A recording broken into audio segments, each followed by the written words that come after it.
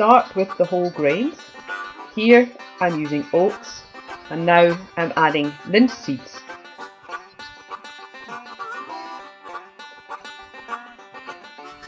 I'm now going to put the whole lot into a coffee mill where they're going to be ground into flour.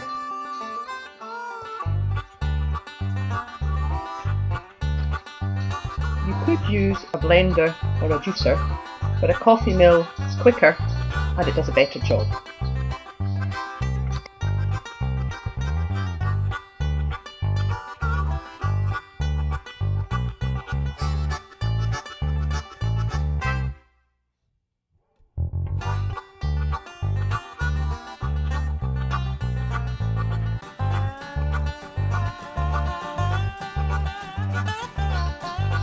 Now we have flour ready to be used in baking.